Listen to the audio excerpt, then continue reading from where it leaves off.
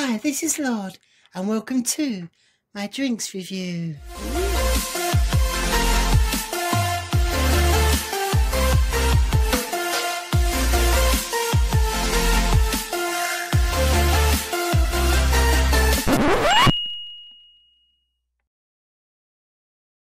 Today's drink is Lilt. It's a 330 milliliter can, 66 calories. Hello.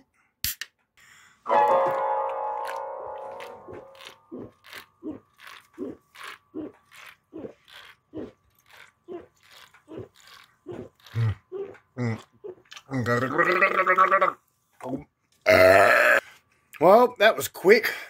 It's exactly what it says on the tin. It is pineapple and grapefruit. And that's it.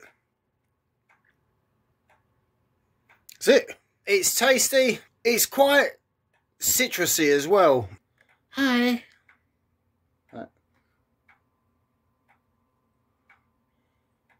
Grapefruit. It's also a recycle me can. So I'm going to give the Lilt a 6. I think it's okay. It's pretty decent. It is something I would buy if I was in a shop. Lilt is actually an acronym. It means like it like that. Uh, Lilt is actually a part of the Coca-Cola company who manufacture it. Uh, but in 2022, uh, the year I'm currently in, uh, uh, it was rebranded as part of the Fanta company. And uh, you can see that here. It's got the it's got the Fanta logo on it. Another piece of information you may or may not want to know, but it's predominantly uh, uh, sold in Ireland. It says it's a totally tropical drink. Well, yeah, it is.